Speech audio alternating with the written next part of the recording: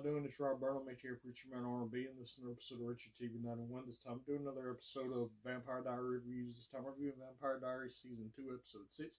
What happens on this week's episode is the Lockwoods is having this get together, and everybody's there to help. But the reason Stefan and Damon's there is because they're trying to get a hold of Mason. That way, they can figure out why Catherine wants the Moonstone.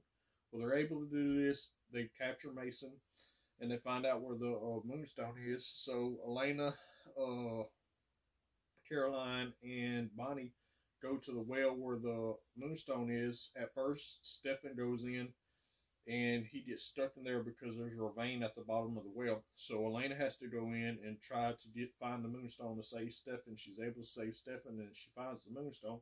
But some snakes come and almost attack her, so she gets out of the uh, Caroline pulls her up just in time that way she doesn't get bit by the snakes.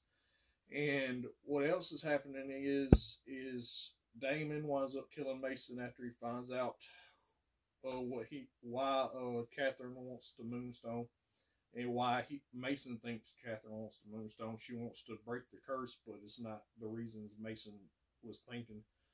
But anyway, uh, Catherine uses mind potion on uh, Jenna to make her stab herself and almost kill herself and Elena's forced to break it off with Stefan at the end of the episode, and also Catherine mind propel, uh, compels Matt to attack Tyler until Tyler kills him to try to turn Tyler into a werewolf. So let's see what happens. That other than that, that's all that really happened. My question for y'all is now that Matt's about to attack Tyler, what's gonna happen with that? As always, Rob Burnham, make put your man on, be signing out. Guys, GG's. See you on this time.